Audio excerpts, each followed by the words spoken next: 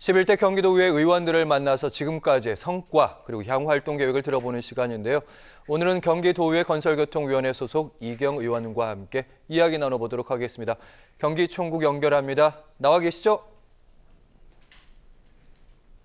네, 안녕하세요. 이경 의원입니다. 반갑습니다. 반갑습니다. 네, 11대 경기도의회 개원 2주년을 맞았는데요. 지금까지 의정 활동 소회부터 들어보겠습니다.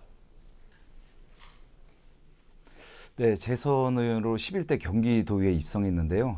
예, 신입이 아닌 경력직으로 다시 오게 되어서 미숙함이 아닌 유연함과 능숙함을 보여드릴 것 같아서 좀 더 무거운 책임감을 느끼며 의정 활동에 임했습니다. 제가 건설 시물 분야에 전문 지식을 갖고 있다 보니까 건설교통위원회에서 활동하면서 김포 시민과 아, 도민의 삶에 보탬이 될 수 있도록 좀더 도정을 꼼꼼히 챙길 수 있어 보람됐던 것 같습니다. 지난 2년 동안 건설 현장에서 부실 공사가 없도록 미비점을 보완하고 운영 중인 도로의 신호체 개선을 통한 안전에 신경을 썼습니다. 또 제 지역구인 김포시 현안 사항인 김포 골드라인 혼잡 문제를 해결하고 노력했습니다. 행간과 집행부 간담회를 통해 철도국에 대한 대책을 요구해서 전세버스, 똑버스 등 대책이 마련되었지만 혼잡은 나아지지 않고 있었습니다. 지난 6월 28일 김포 골드라인 1편성이 추가 편성되고 단계적으로 운영 편수를 늘린다고 하니 좀 더 지켜보도록 하겠습니다. 정치 임무는 어떤 방식으로 하는 건지 궁금하신 분들이 많으실 텐데요. 재선 의원이시고 어, 정치를 처음 시작하게 된 계기가 있을까요? 네, 저는 어떤 불편이나 불합리한 상황을 마주하게 되면 앞장서는 그 면이 있었습니다. 누군가 해야 하는 일을 일하면 지켜보는 것보다는 먼저 나서는 성격인데요. 그래서 제 지역에 이슈들에 있어서 같이 고민하다가 김포 고가 경제철 반대 범시민 비상대책위원회 또 아라뱃길 김포 대책위원회 한강 신도시 총연합회 등 지역의 활동에 매진을 하게 됐습니다. 지역면의 견해를 대변하고 또 앞장서는 자리에 있다 보니 우리 지역 지역 공동정토에 대한 남다른 애정이 생기면서 목소리가 아니라 좀 더 적극적으로 실질적인 방법, 조례나 정책으로 더 보탬이 되고 싶다는 생각에서 정치권의 입문을 결정하게 되었습니다. 지역 활동 열심히 하면서 주민 신뢰 얻어야 된다 이런 말씀으로 들었고요. 상반기에는 건설교통위원회 부위원장을 하셨는데 어, 이번 달 중순부터 후반기 도의회 시작합니다. 어떤 상임위 생각하시는지요? 네, 사실 고민 중에 있습니다. 아, 당내에서는 상임위 배치에 대해서 많은 논의가 이루어지고 있고 어느 상임위를 가고 싶다라고 말씀드리기는 좀 어려울 것 같습니다. 그렇지만 단언할 수 있는 것은 11개의 상임위가 모두 어, 경기도민의 삶에 밀착된 다양한 이슈들이 포함되어 있어 어느 상임위가 더 중요하다고 우열을 가릴 수는 없을 것 같습니다. 그렇기 때문에 어떤 상임위를 가든지 경기도민의 삶에 가장 중요한 이슈가 무엇인지 파악해서 더 열심히 공부하고 도민과 소통하면서 의견을 잘 전달하겠다는 각오로 임할 각오를 하고 있습니다. 재미없지만 이제 조례안 얘기도 좀 해보도록 하겠습니다. 어, 수많은 조례안 11대 의회에서도 발의를 하셨더라고요. 대표적인 조례안을 소개를 해주신다면요. 네, 저는 크게 세 건의 조례를 좀 소개를 해드리고 싶습니다. 간단하게 소개드리면 아, 작년 4월에 인천 검단 아파트 지하주차장 붕괴 사고가 있었죠. 일명 순살 아파트 사건 또 경기도에서는 성남 정자교가 붕괴하는 사고가 발생했습니다. 사실 집이나 도로, 교량, 학교는 국민들이 매일 생활하는 인프라기 때문에 가장 안전함을 느껴야 하는 곳인데 특히 공공이 발주한 건설한 곳에 있어서는 안타까운 사고들이 연달아 발생해서 사회적 충격이 더 컸던 것 같습니다.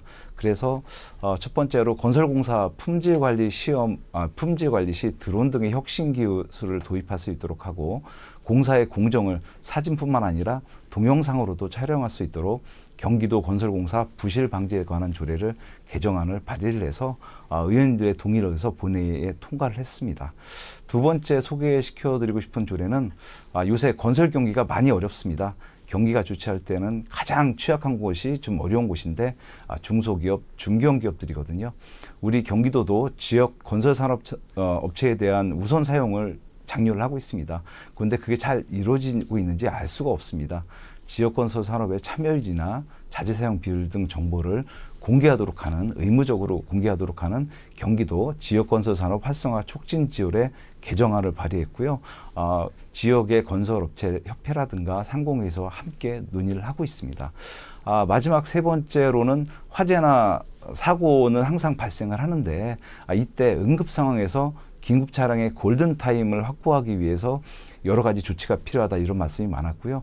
긴급 차량 우선 시, 어, 신호 시스템을 안정적으로 구축하고 원활하게 운영될 수 있도록 경기도 긴급 차량 우선 신호 시스템 구축 및 운영 조례 제정안을 전국 최초로 발의했다는 점에서 아 부끄럽지만 뭐 적극 행정이다 선제적 조례다 이렇게 평가를 받는 것을 매우 뿌듯하게 생각을 하고 있습니다. 네, 조례안 하면 어렵다고 많이 생각하는데 듣고 나니까 생활 그리고 안전에 밀접해서 관심을 더 가져야겠다는 생각해봤습니다. 어, 그리고 제가 알고 있기로는 2023년 의정행정 대상 시상식에서 건설교통이 베스트 의원으로 선정이 되셨는데 이 상이 그냥 의례적인 상이 아니라 기자들이 이제 심사도 하고 엄격한 심사위원들의 평가를 통해서 결정된다고 하는데 그래서 드리는 질문인데 임기 내꼭 발휘하고 싶은 베스트 조례 있을까요?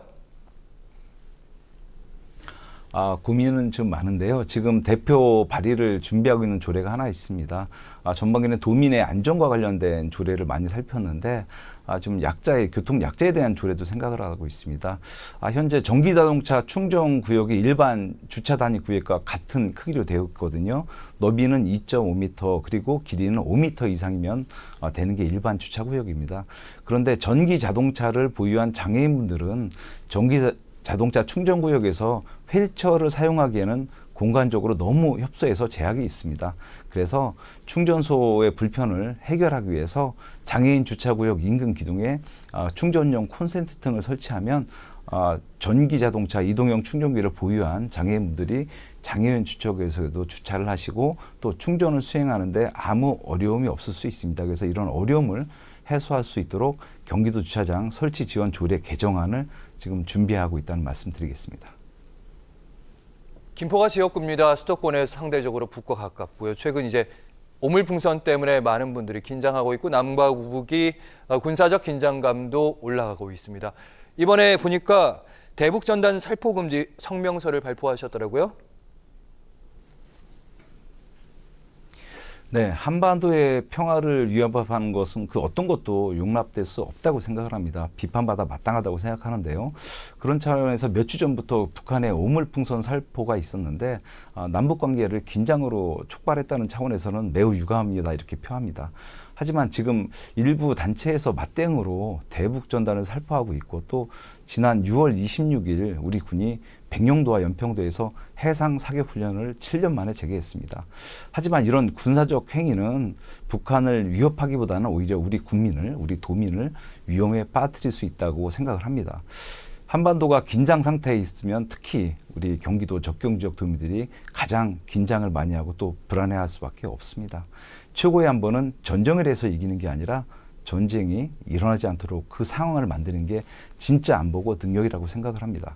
국제관계에서 모두 죽자는 치킨 게임 전략은 지양해야 하고요.